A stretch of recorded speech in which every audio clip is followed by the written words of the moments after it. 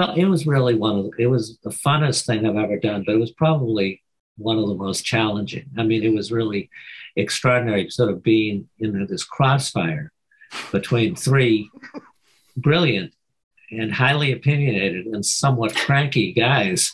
yeah. I mean, Fats not was, Fats accepted, right? No, yeah. Fats was the guest of honor, and he was he was never part of the interview process. Okay. And one of the most extraordinary things about the I think it was three days that we spent together was just the kindness and the sweetness that each of the other three, and particularly Jerry Lee Lewis and Little Richard showed to its Fats, the love that they mm. showed its Fats, mm. and the extent because Fats was having, um, you know, problems with um,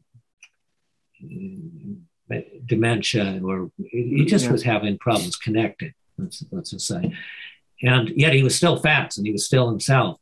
And to watch Little Richard coax him out of this and get him to sing in this sort of sotto voce voice along with Little Richard Blueberry Hill or one of the songs, and just the smile on the face would start. They would talk about cooking, and it was always by Little Richard.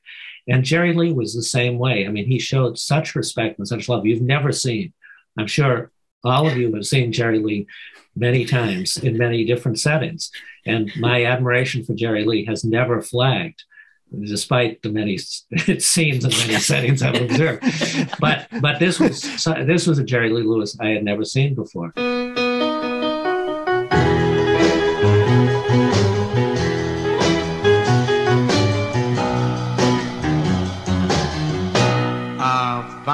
My thrill